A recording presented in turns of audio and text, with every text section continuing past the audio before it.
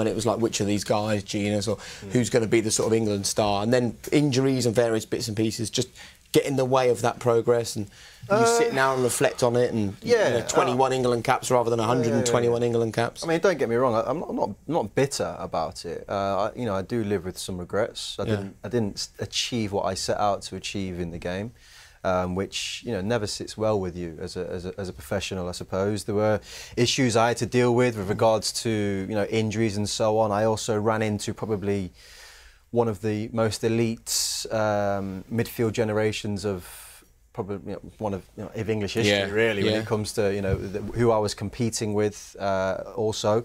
But a lot of that, you know, I steer kind of in the mirror and I look at myself, and I, you know, it's it's things I have to take on about what I didn't bring to the table. Um, there are other attributes, you know, kind of when I look at, say, Lamps, when he started to kind of really kick on. I remember a game in South Africa, I don't know if you played in that one, in, in Lucas Radebe's uh, testimonial.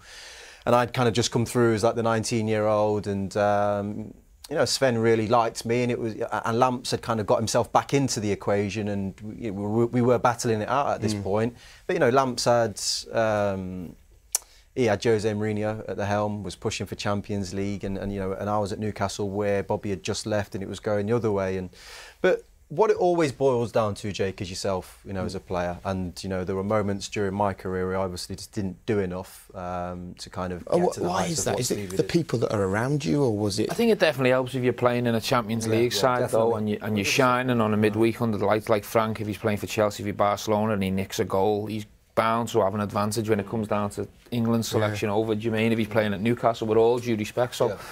I think sometimes depends on what players are around you, what club you're at, and, and what stage you're performing at, really. I, I, felt that a lot kind of when I was with England. When I was England, you, you, you could feel kind of the winners, I suppose, in the dressing room. We, didn't, we never performed really well as a team, I, I, I never found.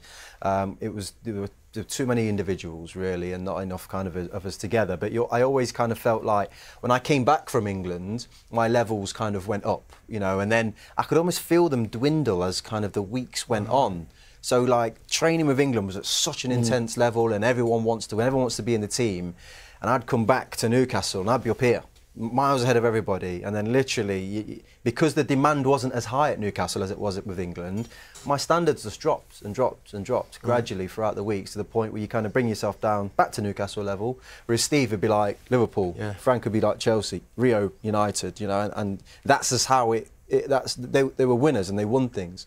Whereas I suppose that's the difference in the league. Mm. It's as simple as that. You know, some people accept uh, kind of their space of where they're in. And whoever's in that dressing room, it's up to them, I suppose, to kind of drag everyone together and make sure you, you, you do go and achieve more. Um, but I think it's hard at that level as well. If you're not if you're not being successful, or you're in a team that is you know an average performing team, it's hard to shine and drag them forward all the time. Mm. So if you're playing with England and you're training with them and you know when you have the ball Stevens bombing on or the right back's bombing on then suddenly you go back to Newcastle and you're expecting that right back to be there and the right back is not feeling confident today and is, is staying there sure, sure. and you're doing that side pass you know you want to be creative you want people to do that to give you the options but if you're in a team that is you know is not firing or not flying every week you're bound to have players who go well, I'm staying here today, do you mean? And you're just passing there, and then you're the one who has to go and do things.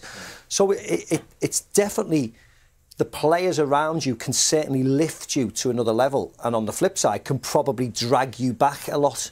But do you look at it and think, well, it was the midfield generation, and I wasn't at a club that was pushing for the Champions League, and I had a Juande Ramos rather than Sir Alex Ferguson or Rafa Benitez as my manager? Or do you look at it and just think, I just wish someone had told me this career is over like that and just to knuckle down because who knows what what I could have. I, I don't blame anybody, no. you know, for what happened. I look at myself and, um, like I said, I've always been um, accepting of the way uh, that it went to an extent. There are, you know, I, I do live with regrets because I didn't, again, like I said, set out uh, achieve what I wanted to achieve uh, in the game. Mm. But you know, you can, you can talk about as many people as you want, Jake. You know, when I really kind of like do break it down, yes, you kind of say things like, I don't know, if, maybe if I was here at Liverpool with Rafa Benitez, you know, because Steve has mentioned, you know, some of the teams here that he played in, you know, they, they weren't amazing teams, yeah.